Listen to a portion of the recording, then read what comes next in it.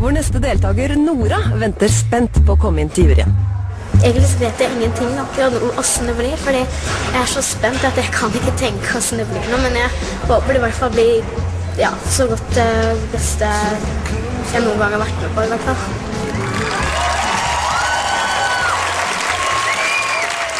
Hei, hei. Hei. Velkommen til oss. Takk. Hva heter du? Nora. Og du skal Synge. Har du holdt på med det lenge? Ja. Ok, kort og enkelt på det. Hva skal du synge for oss? Somewhere over the rainbow. Sett i gang.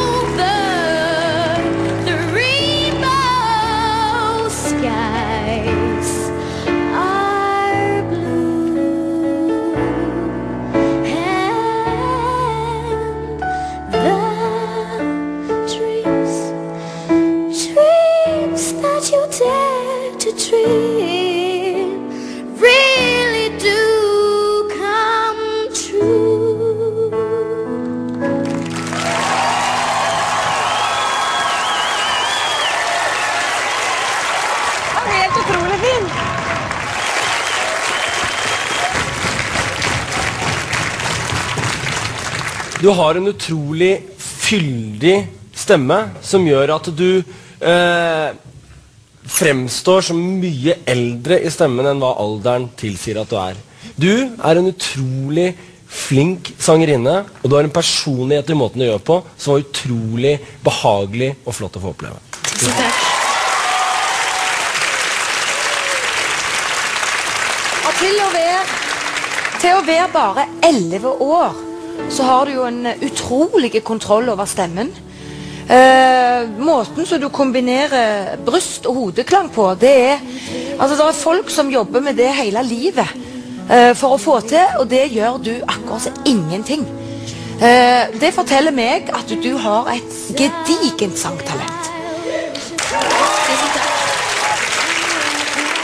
Nei, jeg, jeg, jeg syns det er helt utrolig å høre noen på 11 år synge sånn. Jeg, jeg syns det er eh, ekstremt talentfullt.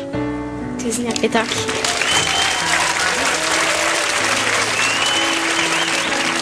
Ok, videre eller ikke videre? I aller høyeste grad ja. Tusen takk. Ja. Uten tvil. Selvfølgelig.